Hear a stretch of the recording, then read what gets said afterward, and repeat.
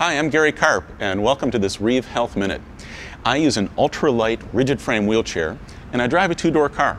So here's my technique for loading my chair into my car. First, of course, I make my transfer. And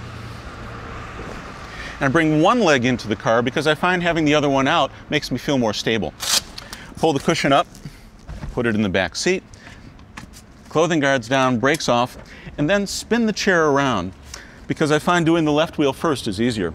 And I've always been amazed at the precision of the turning radius of the chair, how my very muscles and nervous system have developed a fine sense of that. It just becomes very natural.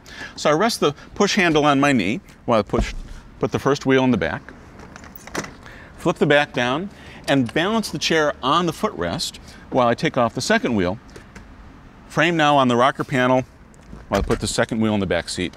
And now this is where having a two-door car really comes in handy. I recline all the way back and I get lots of space between my chest and the steering wheel so I can lift my very lightweight frame over my body into the back seat.